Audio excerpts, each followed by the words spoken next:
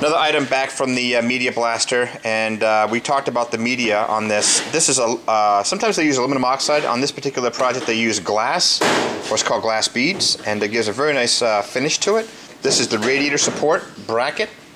Uh, so it's just a, a grayish color, and that's just the color of the metal after you get done with the media blasting, which is typical throughout any kind of uh, steel that we send over there and have sent back. So it's a, a great process, and again, this this bracket's in good condition.